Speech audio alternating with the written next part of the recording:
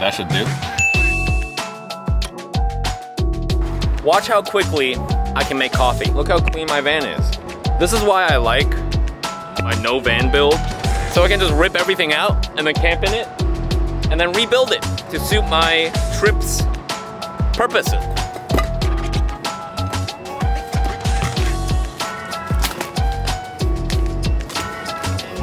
That's it. We're still using the same Soto stove from last video just because it's so compact and easy to transport.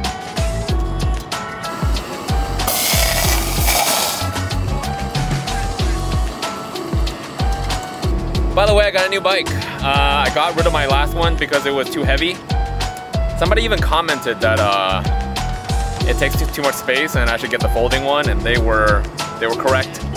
So I got this one. Uh, still a couple of chores I have to take care of before my road trip.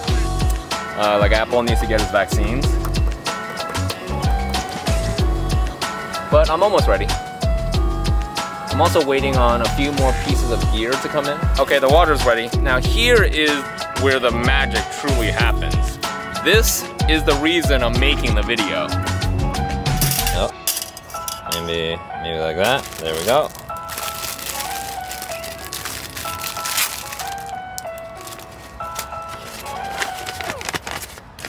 Okay, put that right there. American runs on Dunkin'. I don't know how much I'm supposed to put there.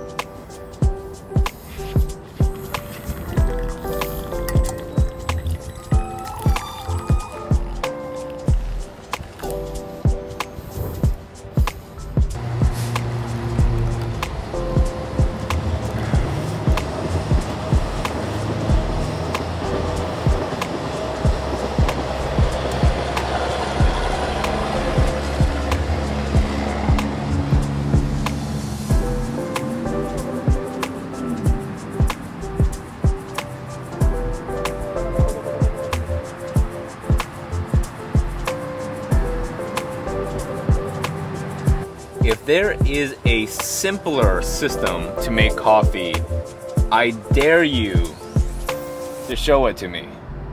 Well, I guess those instant packages, that's simpler, but like real coffee.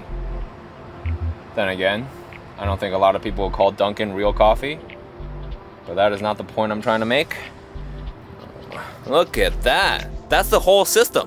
You just need hot water. And then boop. Oh, yeah, yeah. Incredible. So it's 3D, and then you can press it down, put it through the hoops. Now it's 2D. Look at that, that's the whole package. Plus some, uh, you need some filters, which it comes with. They're just standard filters. Number twos. And look at that.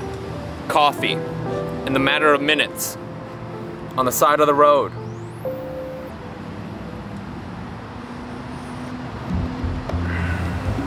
Well, definitely tastes like Dunkin'. Ingeniously simple.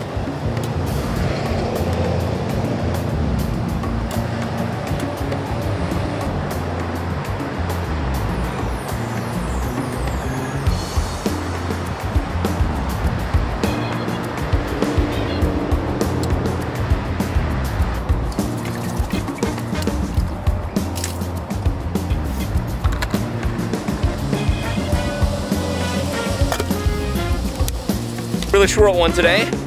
Thank you for hanging out. Um, next time you see me, I will be on the road, I hope. Uh, I think I'm gonna go north from where I am now. Yo, there's a spider on my car.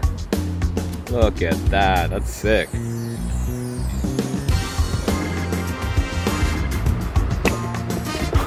All right, love you, bye.